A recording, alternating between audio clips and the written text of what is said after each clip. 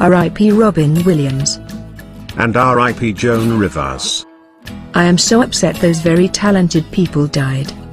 Me too. It's just too sad to talk about.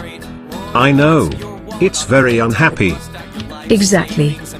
Let's try to think happy. Okay but still R.I.P. Joan Rivers.